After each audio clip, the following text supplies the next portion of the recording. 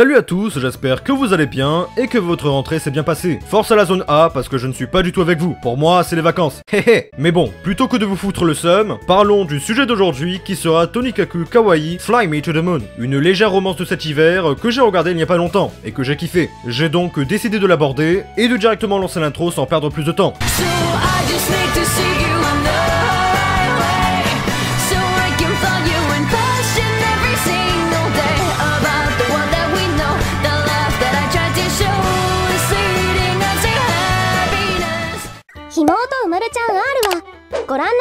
の提供でお送りします。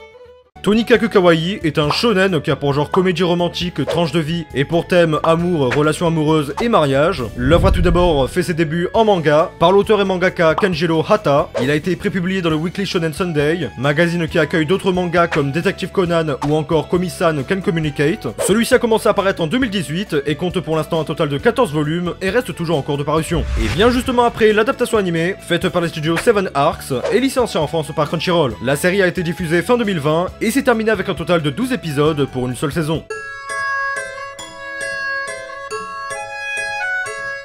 Tonikaku Kawaii nous fera suivre la vie de Yuzaki Nasa, un jeune qui, à la naissance, n'a pas déjà eu beaucoup de chance, car son père, étant fan de l'espace, a voulu le nommer NASA, en référence au centre de recherche aéronautique américain. Donc les remarques se sont faites incessantes à l'école. Rien de bien méchant, mais NASA ne supportait pas cela. Il a donc décidé d'inspirer le respect. Il a donc commencé à beaucoup travailler ses cours pour justement être le meilleur. Alors, résultat atteint, il est le meilleur de sa classe, et vise même le plus prestigieux lycée de sa région. Et un soir de pleine neige, il sort avec les résultats de ses examens, tout fier, il prend beaucoup la confiance, et se pavane comme Jaja, jusqu'à ce qu'il tombe sur une jeune fille, aux cheveux et au regard flamboyant. Pour Nasa, c'est littéralement le coup de foudre. Il est persuadé que sa destinée est de lui parler. Il accourt donc vers elle, mais sans voir qu'un camion est en approche. Irrémédiablement, il se fait percuter, et bam, il se retrouve dans un isekai.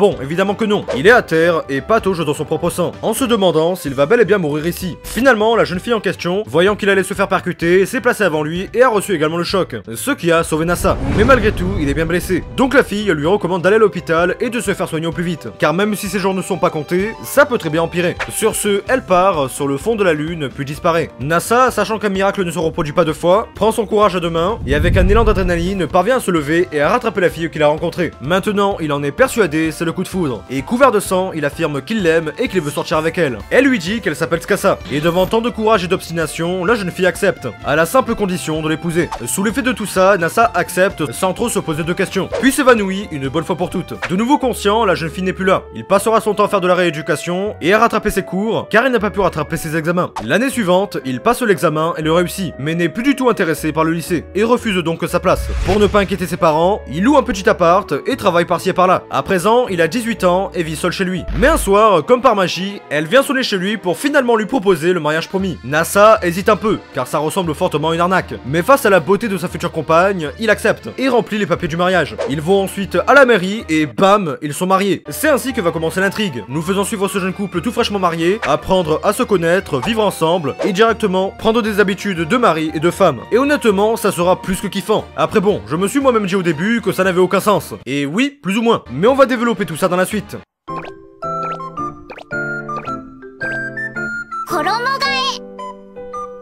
Franchement, au début, j'ai vachement sous-estimé l'animé. J'avais regardé l'épisode 1 quand l'animé était en train de sortir, j'ai vu un gars qui se fait percuter, une meuf qui le sauve, et ensuite bam le mariage. Perso, j'avais trouvé que les choses allaient trop vite, et qu'en plus, c'était tout sauf cohérent ou logique. Donc j'avais drop ne cherchant pas plus loin. Finalement, deux mois plus tard, je finis par reprendre la série, car j'ai vu qu'on me l'avait beaucoup recommandé en commentaire, et que celle-ci avait bien plu à beaucoup de gens. Alors je me suis demandé, qu'est-ce qui pouvait bien attirer autant de gens dans une romance illogique à l'eau de rose? Et la meilleure solution pour le savoir, c'était de simplement regarder. Une fois dedans, honnêtement, c'était de la merde. Non, je rigole. Honnêtement, j'ai grandement regretté d'avoir drop la série, et en plus de l'avoir hautement sous-estimé. Ce que j'ai réalisé, c'est que ce n'était pas illogique ni incohérent. C'est qu'en fait, on n'en sait simplement pas assez de leur histoire respective pour pouvoir justifier leurs actes dans ce cas présent. Et en plus, pour un concept aussi flou que l'amour, parler de justification n'est sûrement pas approprié. Mais que voulez-vous, il me faut un minimum de logique. Bref, j'ai donc pu remarquer tout le long de la série que tous les défauts que j'avais pu lui trouver finissent par disparaître de plusieurs façons. Simple exemple et facile à comprendre, c'est le personnage principal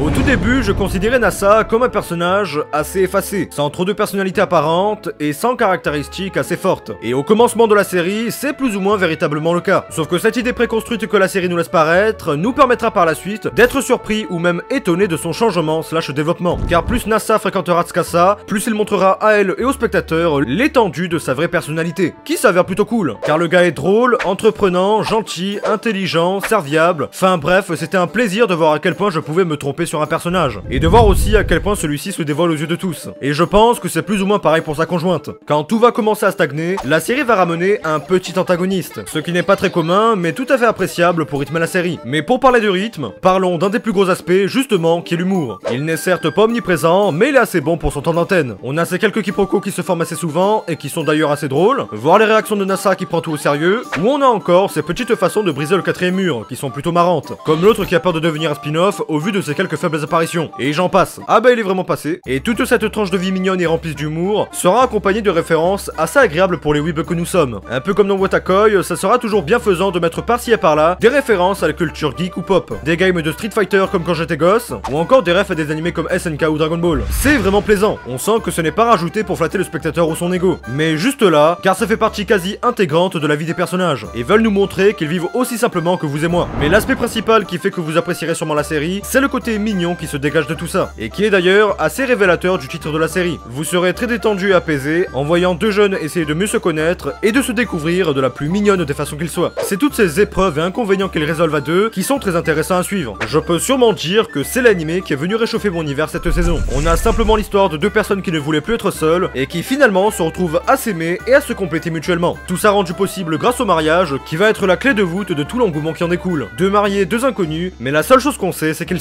et que contrairement à beaucoup d'autres romances, on ne va pas attendre trois saisons entières pour qu'ils se déclarent enfin l'un à l'autre. Ce qui rend la chose chill, sans drama inutile ni prise de tête, et avec un humour assez bon pour rendre le tout compact et prêt à être regardé. Et c'est pour ça que je recommande vivement la série. Elle est pour moi à la hauteur de toutes les bonnes romances de nos jours, et fait parfaitement le taf. Mais comme vous, une fois le 12 e épisode atteint, je n'ai plus que me dire qu'il me faut la suite. Et bam, j'en fais une vidéo. Donc passons réellement à la suite.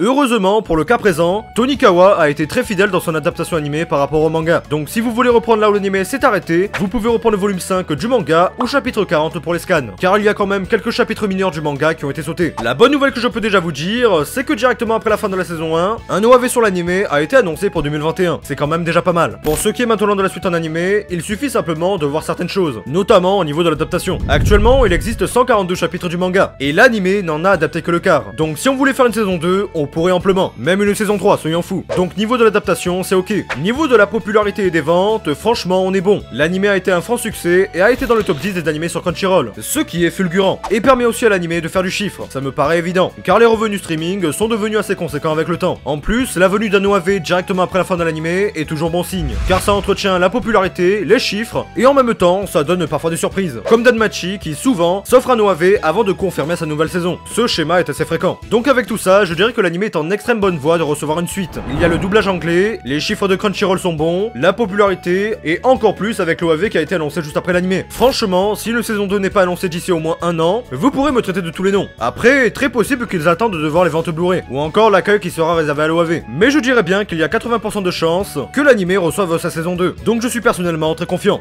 Dans tous les cas, comme d'habitude, si toute information venait apparaître, comme l'annonce de la saison 2, je vous en informerai en commentaire. Vous avez juste à en laisser un. Sur ce, c'était tout pour cette vidéo, j'espère qu'elle vous aura plu et qu'elle vous aura aidé. Si c'est le cas, n'hésitez pas à vous abonner, liker, partager, ça me ferait vraiment super plaisir. Quant à moi, je vous dis à une prochaine vidéo en attendant, portez-vous bien. Ciao, bye